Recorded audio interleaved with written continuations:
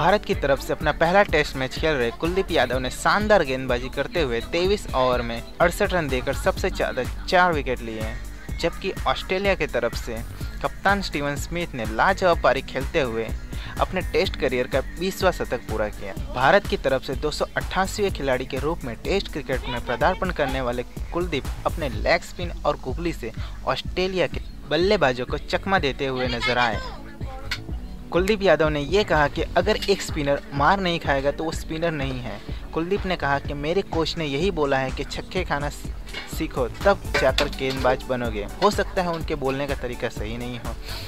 उनके कहने का मतलब ये है कि बॉल को ज़्यादा फ़्लाइट करो। बॉल में जितना ज़्यादा स्पिन रहेगा, विकेट लेने के चांस उतना ही बढ़ जाएगा।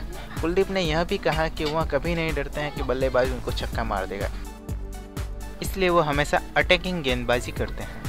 कुलदीप सैनवन को अपना रोल मॉडल मानते हैं। उन्होंने कहा कि मैंने सैनवन की गेंदबाजी के वीडियो देखकर गेंदबाजी करना शुरू किया है और उन्हीं की तरह बनने की हमेशा कोशिश की है।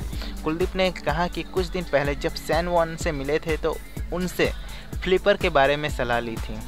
उन्होंने ऑस्ट्रेलिया के गेंदबाज ब्रैड हॉक से कभी कुछ गुड़ सीखे हैं। आपको बता दें कि कुलदीप और हॉक आईपीएल में कोलकाता नाइट राइडर्स की तरफ़ से खेल चुके हैं। सुरेश रैना ने कुलदीप के लिए ट्विटर पर ट्वीट किया है। The magnificent debut by the I M Kuldeep 18 over the UP lad is rising the superstar of the Indian bowling keep it up Kuldeep long way to go